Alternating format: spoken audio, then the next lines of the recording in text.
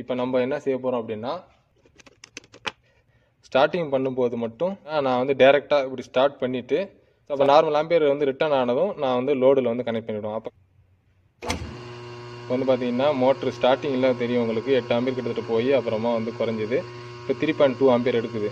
இப்போ வந்து இந்த பிரேக்கரோட அவுட்புட் எடுத்து இங்கே வந்து அவுட்புட்டில் இப்போ கனெக்ட் பண்ணிட்டேன். இப்போ வந்து இது வழியாக வந்து பார்த்தீங்கன்னா சப்ளை வந்து எடுத்துகிட்டு இருக்கு. பிரேக்கர் வழியாக வந்து பார்த்தீங்கன்னா சப்ளை எடுத்துகிட்டு இருக்கு. டோட்டல் ஆம்பியர் வந்து மோட்டர் எடுக்குது த்ரீ பாயிண்ட் டூ ஆம்பியர் ஆனால் நம்ம பயன்படுத்தக்கூடிய இந்த பிரேக்கரோட capacity two point two ampere இந்த பயோமெட்ரிக் ஸ்ட்ரிப்பை நீங்கள் பார்த்துருந்தீங்கன்னா தெரியும். இந்த லிவர்கிட்ட வந்து கனெக்ட் பண்ணி அந்த லிவர் வந்து பெண்ட் பண்ணி விடும். இது மூலிமா இவங்க வந்து சுவிட்ச் வந்து பார்த்தீங்கன்னா ட்ரிப் ஆகுது.